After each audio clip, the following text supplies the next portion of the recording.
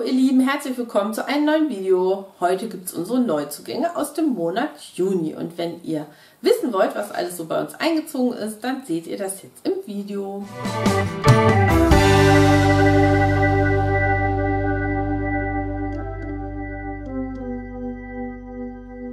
Wie viele Bücher sind bei dir eingezogen? Zu viele. Zu viele. Ja, ich sehe schon, du freust dich, dass du weniger hast als ich. Ja, ich hatte nämlich gedacht, diesen Monat geht es nach hinten los, weil ich mir so früh schon zwei Bücher geholt habe. Ja, Aber da habe ich mich dann ist dem anscheinend nicht so. Nee, ich habe vier. Ja, dann habe ich mich nicht zusammengerissen, weil ich habe am Ende des Monats dann nochmal für Nochmal. Jane Austen bestellt und Ja. deswegen sind es jetzt ein paar mehr geworden. Aber das ist mir jetzt auch gerade total Total egal. egal. Und deswegen fange ich jetzt nämlich einfach an.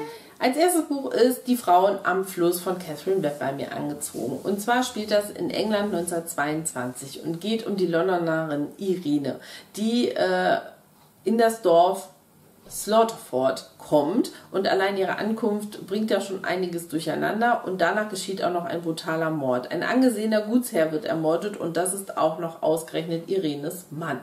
Und gemeinsam mit dem Stallmädchen Pudding äh, beginnt äh, Irene sich auf die Suche nach der Wahrheit zu machen und die äh, Spuren führen diese beiden ungleichen Freunde immer weiter in die Geschichte dieses Dorfes hinein. Und ähm, ja, es soll wirklich ein toller Spannungsroman sein und die drei waren da sehr begeistert von und deswegen habe ich mir das einfach mal gegönnt.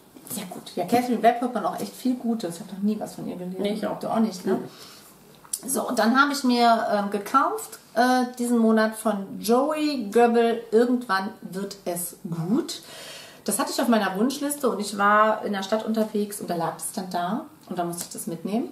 Hier geht es nämlich um verschiedene Menschen, ähm, um ganz normale Menschen, deren Leben das aber nicht ist und die sich Sachen erträumt haben, die dann aber nicht so gekommen ist, wie sie es erträumt haben und die trotzdem um ein Stück Glück kämpfen. Und äh, das soll ein sehr bewegendes Buch sein. Benedict Wells äh, lobt das immer in, in den höchsten Tönen und deswegen habe ich mir das jetzt mal mitgenommen und bin gespannt, ob mir das gefällt. Ich habe bei der lieben Elena, das ist eine Kollegin von uns, äh, was die ähm, Büchergilde angeht, habe ich äh, bei Elena liest Nachtwanderung gesehen von Cornelia Achenbach und das habe ich mir dann bestellt. Anja kriegt schon hier ähm, Nee, weißt wieso? Entzückungsausdrücke. Genau. Nee, das habe ich, wo ich im Buchland von Lukas war, habe ich das in der Hand gehabt und überlegt, ob ich das mitnehmen soll. Es war in der engeren Auswahl. Ja, ich habe es jetzt gekauft. Ines ähm, war 14, als sie Kirsten das letzte Mal gesehen hat und damals verschwand ihre beste Freundin äh, unter rätselhaften Umständen auf einmal aus ihrem Leben und 20 Jahre später bei einem Klassentreffen stehen sie sich auf einmal wieder gegenüber und ähm, ja, die Frage ähm, steht im Raum, was da passiert ist, was da wirklich geschehen ist und wie gut Ines Kirsten wirklich kannte.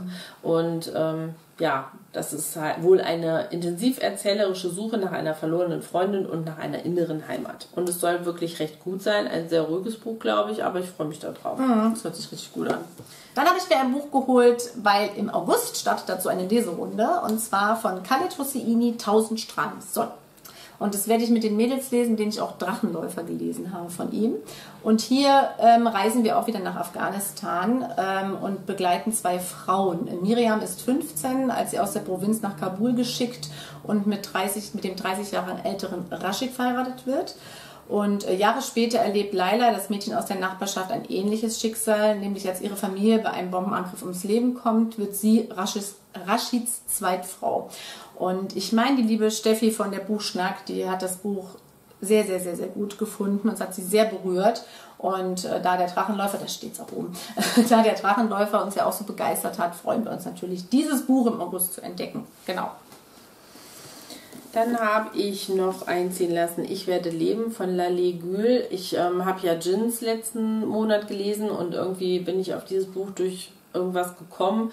Und da beschreibt Lalé äh, ähm, autobiografisch ähm, ja, ihr Leben eigentlich. Sie ist ähm, aufgewachsen ähm, in Amsterdam, ähm, aber in einer sehr ultrakonservativen Familie und sie beschreibt halt äh, in diesem Buch, ähm, wie es ist, äh, eine Hoffnung zu haben auf ein selbstbestimmtes Leben und äh, über das Aufwachsen eines muslimischen Mädchens, ähm, genau, über Grenzen und Gebote und ähm, hier steht nur drauf, als ich werde leben erscheint, bricht die Hölle los und plötzlich steht sie zwischen rechten, linken und religiösen Fanatikern im Kampf um die eigene Stimme. Ja, und das ist wohl in den Niederlanden ziemlich, ähm, ziemlich rumgegangen. Genau, ich weiß gar nicht mehr genau, wie ich da jetzt drauf kam, aber dadurch, dass äh, ich ja Jins gelesen habe, war ich da jetzt dran interessiert.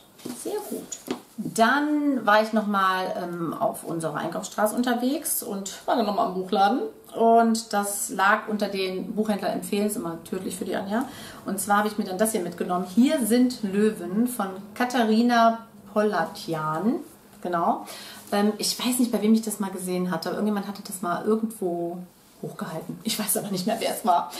Ähm, und zwar ähm, steht hier in dem Buch im Mittelpunkt eine Familienbibel ähm, aus dem Jahre 1915. Das ist ein Familienerbstück und ähm, die gehört einer armenischen äh, Familie an der Schwarzmeerküste.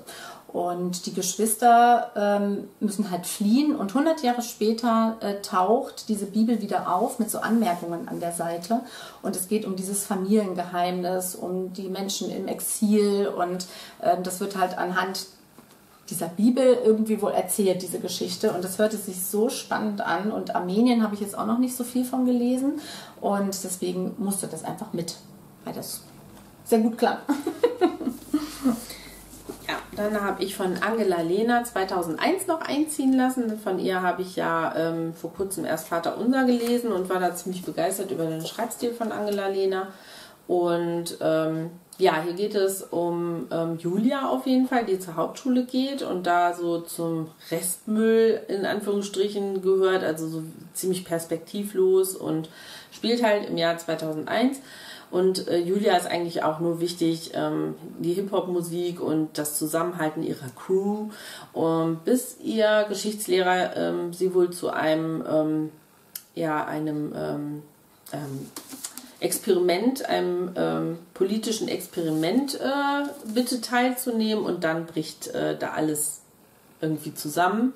Mhm. Und es geht hier halt um Aufwachsen ohne Zukunftsperspektive und von dem Mut, den es kostet, die eigene Wut zu entdecken, über familiäre Vernachlässigung, über Freundschaft und ja, ich glaube, dass das ziemlich gut werden kann, weil, wie gesagt, Angela Lehner fand ich sehr überzeugend als Autorin und ähm, ich bin sehr gespannt, was sie daraus gemacht hat. Ob das so in die Art wie die Welle irgendwie geht oder ja, so. so ich weiß es noch mhm. nicht. Ich bin mal gespannt, habe da aber auch noch nicht so viel zugehört. Ich weiß, dass ähm, die Caroline von Marie Salon de Livre es gelesen hat, mhm. Mm, aber ähm, ja, so ganz viel weiß ich nicht darüber, deswegen aber bin ich äh, gespannt, das zu entdecken.